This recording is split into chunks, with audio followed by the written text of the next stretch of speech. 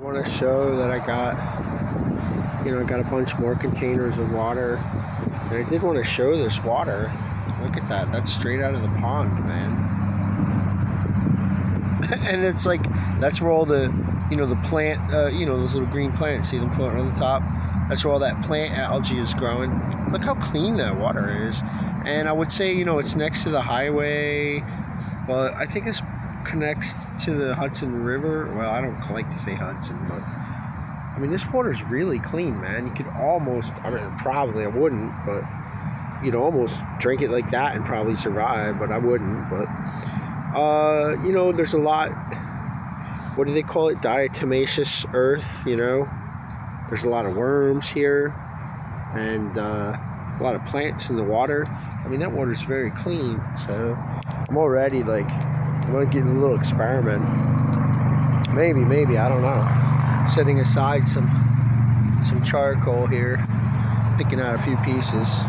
They can bust it up into charcoal powder, you know, and sift some of this sand and uh, you know use a sock or some a clean sock or some kind of piece of cloth in a bottle with a hole in it into a larger container and try to filter a little water and drink it. I've never done it. Uh, I'm not worried about it. I mean, if I run it through that and I run it through earth and that and earth and that and earth and that and then like a sock or something, like psh, I'm not gonna die from that. I mean, seriously, you know.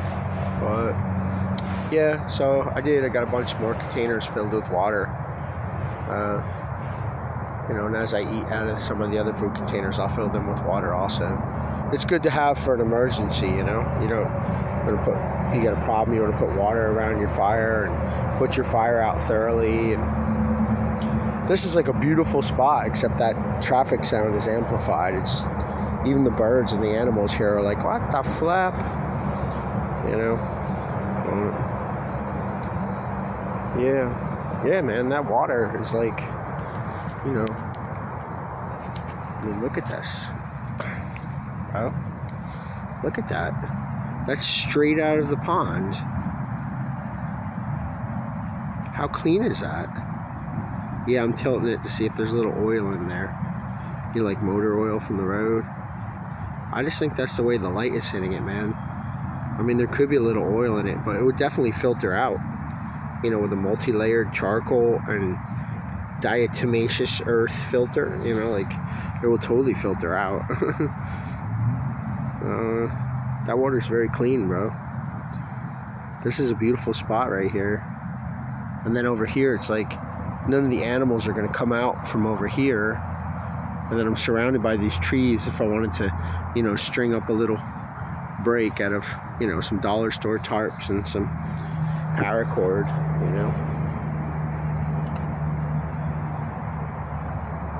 It's a good spot.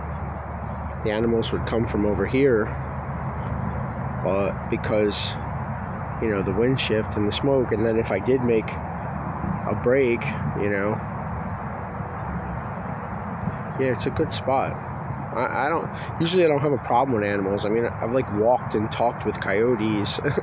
Deers don't run from do not run from me you know it's like I, I had chipmunks playing right around me talking to me practically standing on their hind legs talking to me you know, it's like animals don't freak out. Only people can't stand me, you know? And it's sad, it's frustrating. Yeah, this rock is like severely flat and I don't understand these ants, man. How they can walk around on the hot rocks over here. They're like, look how flat this rock is.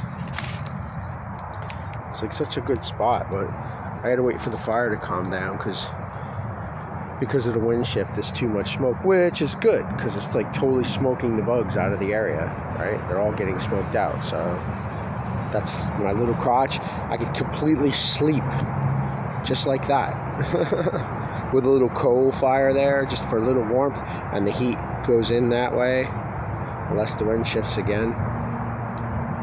Uh, yeah, cool stuff. I guess. I miss you. I love you, my children. I miss my children and I love you. Yeah, and then some like grown man, he's like probably in his mid 40s, maybe, or late 30s, mid 40s. He comes up to me and he's like, Papa. He calls me Papa. I'm like, yo, Then there was this lady, she's like in her 50s, and she was in the parking lot of the Price Chopper, and she's like, We're all here, all your children are here. And I'm like, Oh no. These people think I'm the devil. I, I don't know. Maybe we are resurrected. Maybe they are all my children, but they're all nutcases. You know, so we're going to have a little issue there. But, you know, I love everybody. I don't hate people. But, you know, like this amplified traffic sound. It's like crazy, right? These the animals. Like I know by you know the locals here. They're just like, what the flop? What the flap? What the flap is that? You know, like they're not used to all this racket.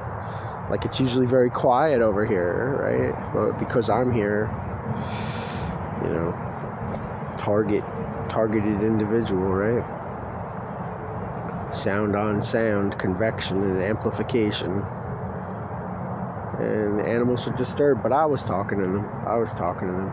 I get along with animals pretty good, actually. With the exception of when people train their dogs to attack me, you know, then, you know, I usually have to try to defend myself or flee which that's sad. It's not the dog's fault. It's that's why I got so hurt last time because like I tried to roll the dog and you know I didn't want to hurt him because he was a small dog, but I had gotten bit by a small dog the last time and it was very painful, you know, and it was very sharp. So like you know I tried to roll him like viciously roll him and then scare him because it wasn't his fault that they were making him attack me and let him off the leash and then like you know, I got two severely bloody knees. They got I got like scars just like like that scar on both knees. And then uh, my bicycle seat, I think used to be my father's bicycle seat, got a you know rip in the side of it. And it was a very stressful experience. Yeah. Well, I'm here for positivity, so that's what I'm gonna do. And like I said, I just yeah, I got my head buds. I'll try not to kill my battery. I'll listen to maybe I got some guitar playing I saved in here. I just was very, very interested in the clarity of that water. It does shine a little rainbow like there could be oil in it, but I don't think that's oil, man. I just think that's the light out here. And even if it is oil, let's see. Yeah, it's a little funky, man. It's a little swampy, but it's swamp water, bro. It's clean.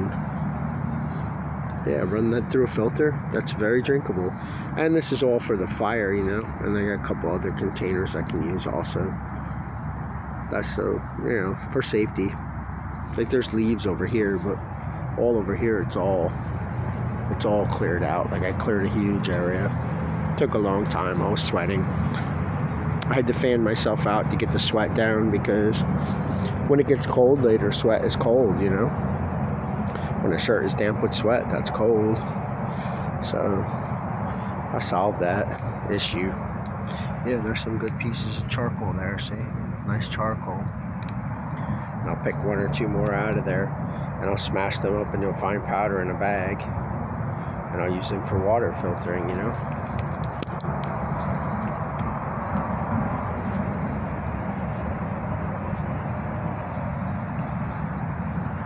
it's fun to watch fire sometimes. It's relaxing. Yeah, these rocks were all local. I didn't pick apart any, you know, ancient landmark or anything like that. These were all rocks that had washed down here. This must have been a, a waterway at one time or a severe flood at one time. All these rocks had tum like, tumbled, and some of them were set hard in the ground, but they were all over the place. There's a lot of them back there.